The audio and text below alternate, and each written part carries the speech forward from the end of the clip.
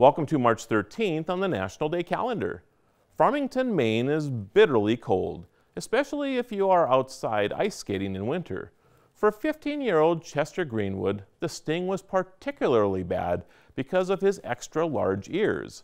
In order to protect them, he asked his grandmother to sew tufts of fur between two loops of wire and voila, the first earmuffs were fashioned.